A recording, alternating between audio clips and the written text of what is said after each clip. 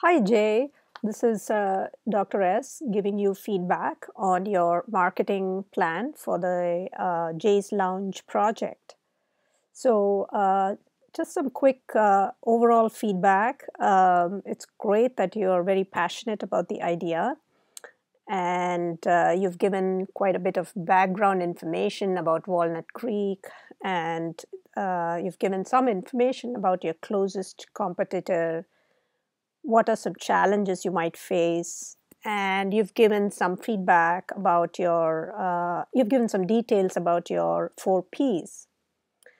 So uh, if you're really going to introduce this project uh, i mean this service uh, i'm going to give you feedback uh, as if you're really interested in that and it's a totally new project. Also from the perspective of the rubric i had given which is the purpose was to help students identify a hole in the market and or you know it could be a new or improved product design. By product i in- include service as well. So the rest of the feedback is based on that.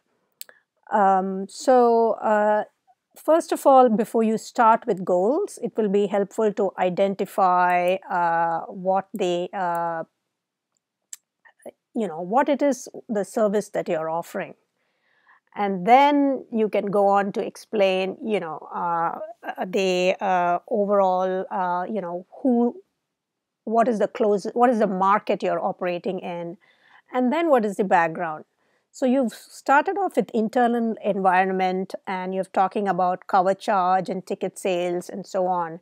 So these are super detailed and before you go into the details, I don't even know what your product is, what it is you're offering, what are you bringing to the table. In other words, what is your um, unique selling proposition? What is your credibility?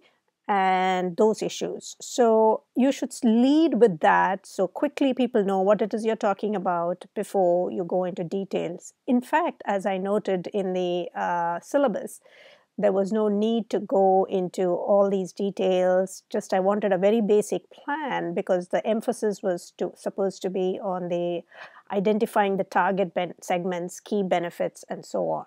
Okay